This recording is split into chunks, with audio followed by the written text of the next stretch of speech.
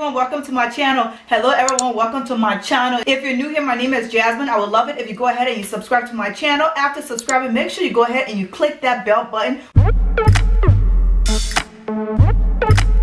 So today, as you guys can tell from the title of today's video, I am going to be doing a story time and I'm telling you guys all about my trip here to the US from the motherland, Africa, but specifically Liberia. As many of you guys know, I am from Liberia.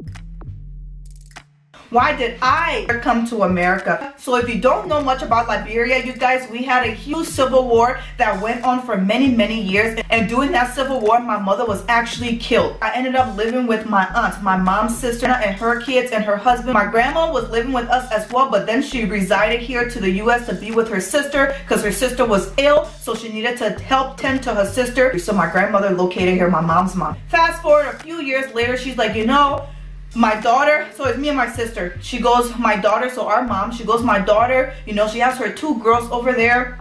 You know she got killed during the war I would love it if they would come to the US. After the war, you guys, life is super difficult. Everybody is trying to get on their feet. Everybody is trying to figure things out. Everything is just a huge mess, okay? People, homes are ruined. Like the, the, the traumatic experience that you just went through, it's, it's just super crazy. And the sad part is you never know when another war is going to happen. So all of those things in mind, my grandmother really wanted for me and my sister to move here to the US, especially since we didn't have our mother. Now, since family members were already moving moving here to the US, my grandma and my aunt thought the best option for me and my sister would be for us to come here to the US where we can be with my grandma, you know, obviously have, hopefully have a better way of life. And honestly, really just to get away from the war that could happen at any moment but obviously everybody couldn't come with if my aunt could come with everybody else all the other kids everybody would have absolutely been able to come but because we didn't have our mother alive and only a certain amount of people could come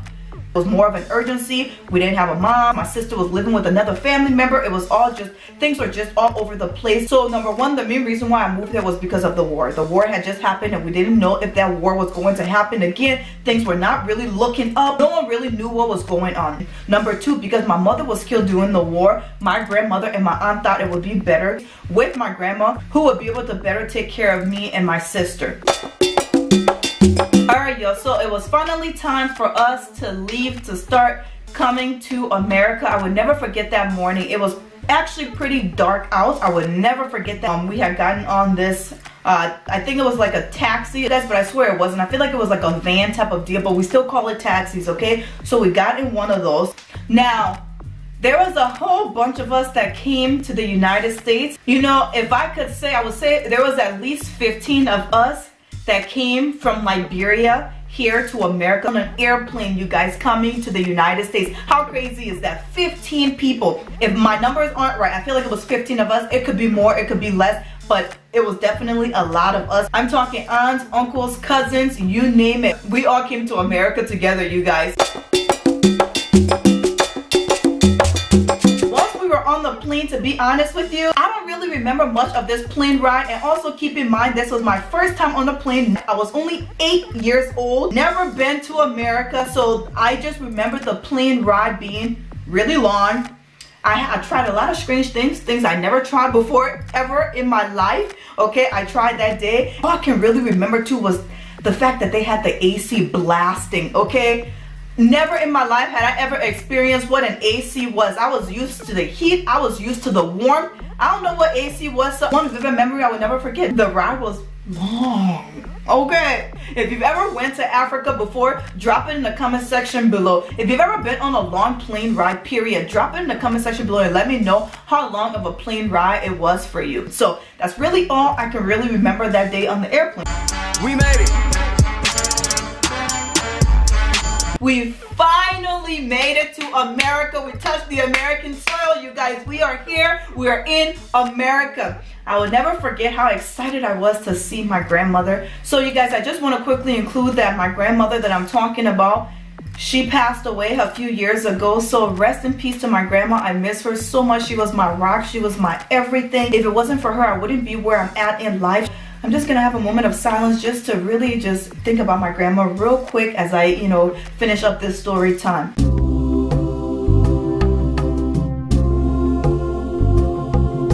Like I said, we finally made it on the American soil and all I could remember was just the excitement of seeing my grandma that I hadn't seen in so long. You guys keep in mind when my mother passed away, even though I was living with my aunt, my grandmother, before she came to the US, she was my main caretaker. She did everything for me. She was literally my mother when my mother passed away. She was everything. She was all I ever knew, you guys. So when she had left, I feel empty inside. But you know, obviously as a child, you we typically tend to adjust to our environments pretty quickly for most children anyways, right? And I was one of those kids who adjusted to my environment, not really having my grandmother there, but still at the end of the day, I still felt that piece missing because that was my that was my mom. That was all I knew when my mother passed away. When she left Liberia to move here to the United States, you guys, my world just kind of was upside down. It was just it was a big change but like i said i learned to adjust living with my aunt but still i always there was not a day that went by without me thinking about my grandmother Everything that I know now about motherhood, I learned from her. She was so nurturing, so caring, so loving, you guys. The nicest person, seriously, you will ever meet. And one thing my grandmother always used to do that I would never forget, she always wanted to make sure everybody who came in contact with her was well fed. She was always making sure that people were fed. Have you ate today?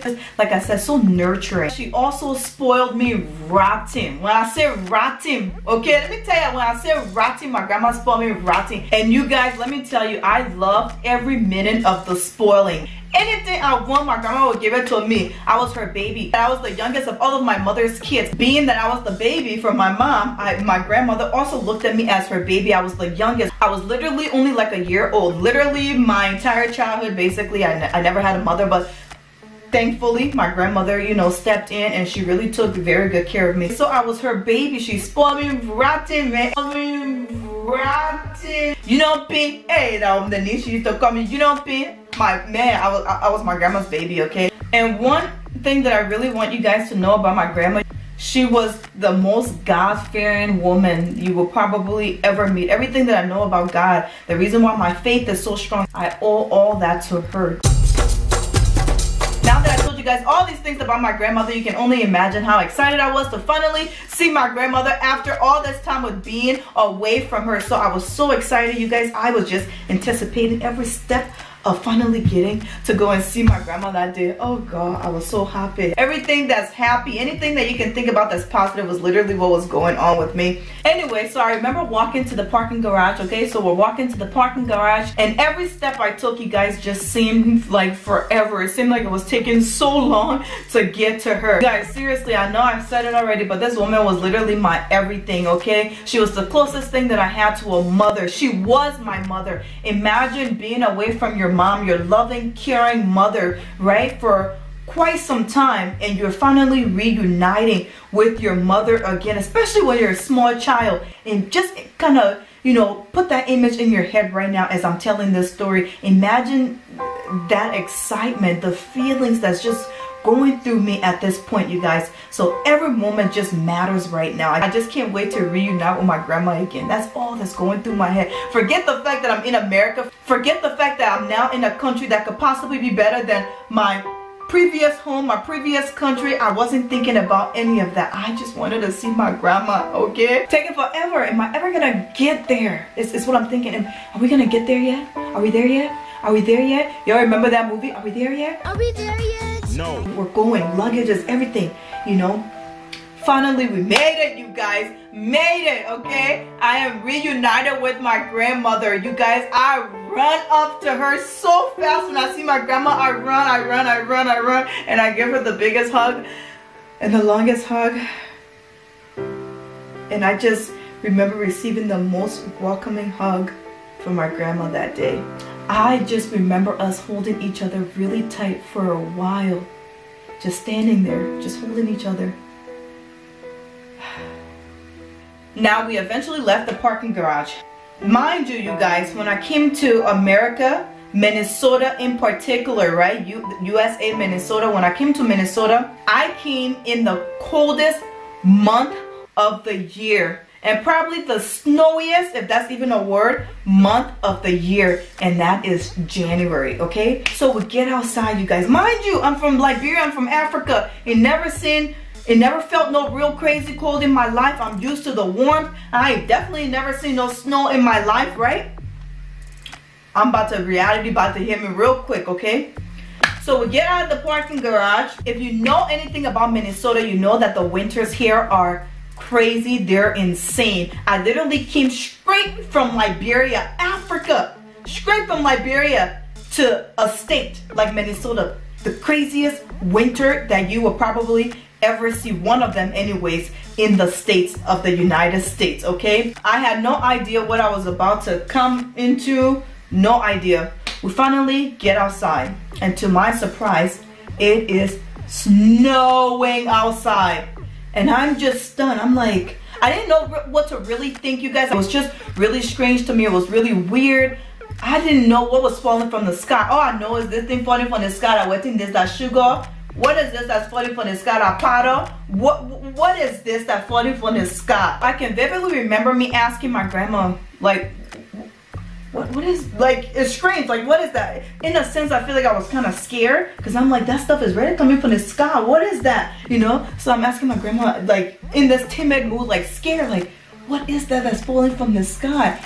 Grandma goes is white sand. Jokingly you know she's joking around because it was i mean the whole ground was covered in snow you guys. The winters here in minnesota is crazy. So the ground is literally covered in snow. We have snow falling from the sky I'm timid. I'm scared. I'm like, hold up. What is this? So I'm asking my grandma.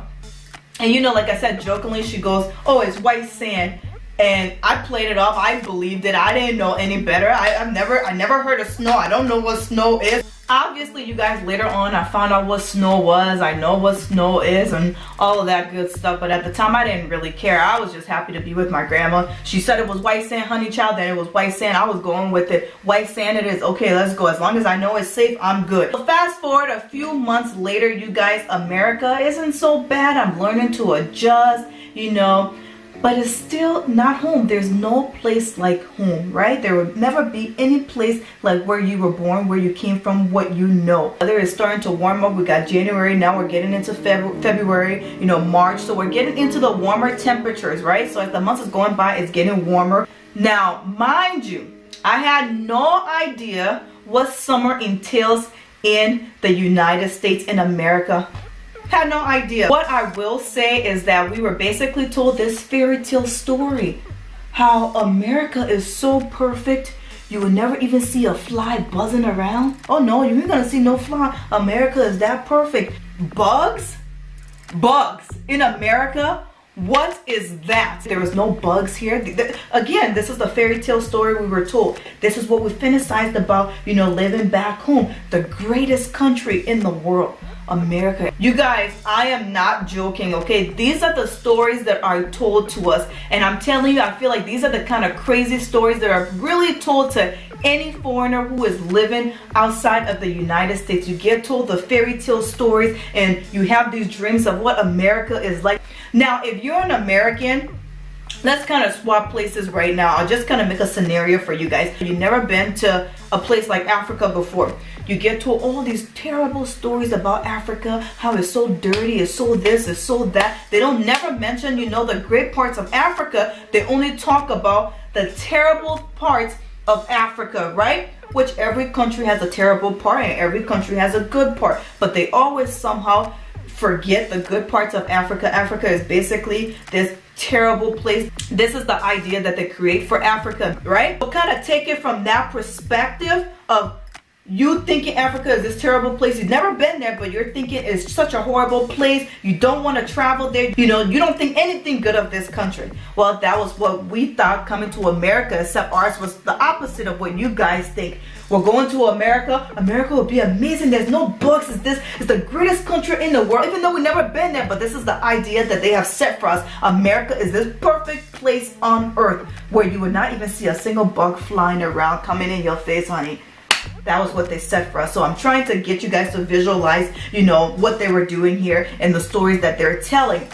I was only eight. What, what, what are you gonna do? You're gonna believe it. And honestly, even up to today, there are still some adults back home in Africa even in other foreign countries who are still believing these stories about America, how America is this perfect place on earth. You will never, you know, see a land like this country, right? This is the picture that they paint. Now, don't get me wrong. America is beautiful in its own way. Just like Liberia is beautiful in its own way. Every country, every place has its own thing that makes us different, that makes us beautiful, that make it unique, you guys. So America is definitely beautiful in its own way. Now to make stories up about no bugs being here and to make it like this magical place on earth is crazy. We were even told that there was no such a thing as homelessness in America. Anyways, you guys, so summer comes. Summer is here. To my surprise, what do I see? Bugs! I mean, I see bugs everywhere. I see fly, I see insects, I see everything that they tell me now. I'm yeah in America. Y'all, when I say shocked, I was shocked.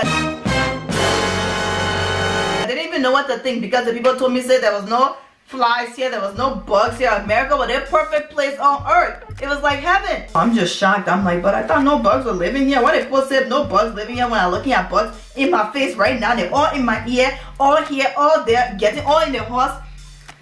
Why did Timmy say there was no bugs here? Guys, basically America is nothing like what we were told back home.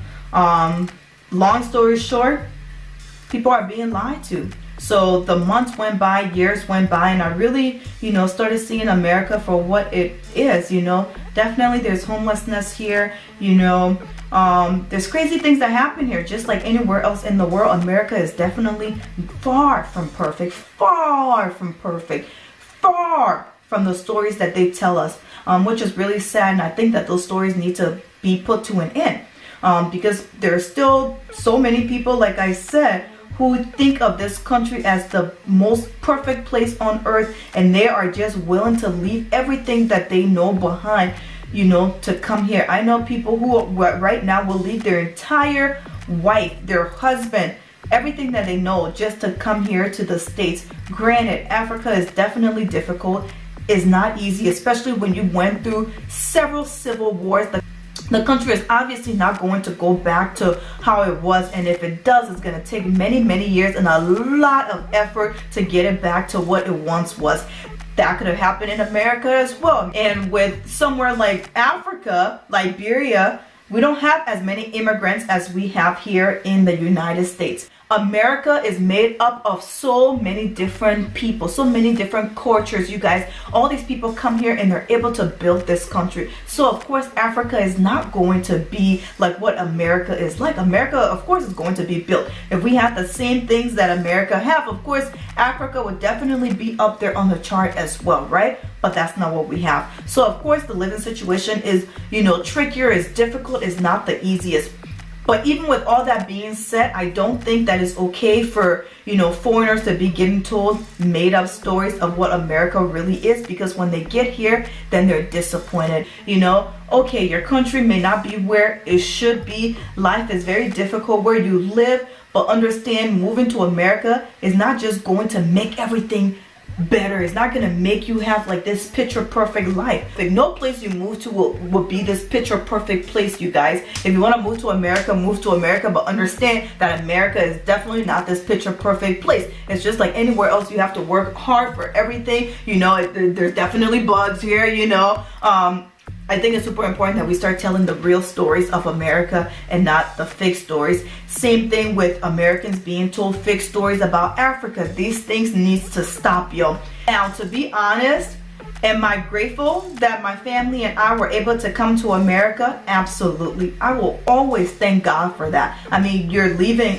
a war zone of course, you're gonna be thankful for that and be happy. I will always tell God, thank you that I, that my family and I were able to come to America at the time that we came when the war was happening, and we were able to be in a safe environment and not fearing of when another war was going to take place. We had that assurance that we were okay. Although America does have its downfalls, you know, there's shootings and things that happen, you know, but we had this at least we knew that we weren't in a war zone. But i do want to say that america is definitely far from perfect just like africa liberia is far from perfect. It's not easy for any foreigner coming here to the united states uh, whether if you're leaving a war zone or not you're literally leaving back everything that you've ever known to go to a whole new country and it's i can't even imagine how other people who don't have family members here in the states how they feel thankfully i'm so happy that i have family members here who i can connect with who already established a bond who i already had a bond with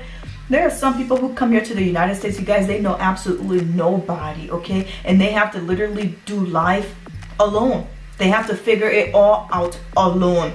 So I'm just grateful to God that we were not only able to come to America in hopes for a better life and try to give ourselves a better life because you have to work for everything. America, things don't just get handed to you. You have to give yourself the life that you hope and dream of that you want. You have to work hard. Nothing is easy in this country. I'm thankful to God for his protection over the years over my family and just for bringing us this far. Anyways, you guys, that is my story time of how I came to the United States of America. If you are from a foreign country, if you're not born here in the US, or maybe you were born in the US and you went to a different country for that matter, let me know your stories in the comment section below how that went for you. How was life like for you when you relocated to wherever you located to? Let's chat in the comment section below. I cannot wait to hear all of your stories. If you enjoyed today's video, please make sure you go ahead and you give it a thumbs up. If you're new to my channel, go ahead and you click that subscribe button. After clicking that subscribe button, make sure you go ahead and you turn on your notification because that's going to notify you of whenever I post a new video. You don't want to miss out on these videos, you guys, because I have tons of videos coming out for you guys. God bless y'all, and I'll see y'all in my next video video. Bye.